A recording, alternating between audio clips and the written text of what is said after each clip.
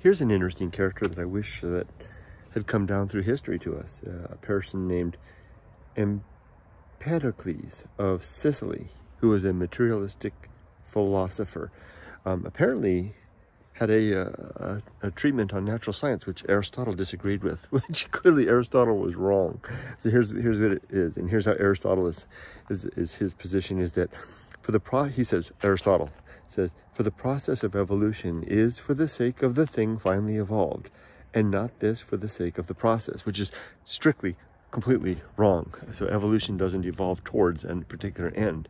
It is the consequence of those ends, of those, of those, um, those, uh, what do you call them? Uh, mutations that have a beneficial effect, or at least that don't, don't kill the creature outright, outright. So they are the exact opposite of what you just said there, Aristotle. Excuse me. And Aristotle goes on to say, he's trying to support his claim by saying Empedocles then was in error. Now he's going to refer to Empedocles' book, which didn't hasn't survived.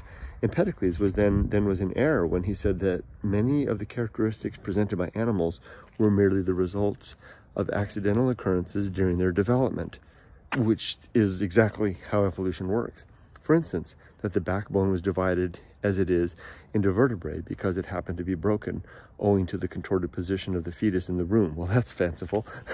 so, well, so yeah, clearly they had a, a, lot to, a lot, a lot of work. Even uh, uh, Empedocles had a lot of work to do. But interesting. So I wonder if Empedocles of Sicily, given you know the limited uh, tools at their disposal, might have you know even stump, might have been making headway into the um, process of of, of, of natural selection by, of evolution by the process of natural selection, um, which uh, Aristotle was not a fan of. And in fact, Aristotle spends a, a good portion of this book uh, trying to refute, much to his discredit, two and 2.3 centuries later. okay, take care. Interesting stuff. Wish we still had that knowledge.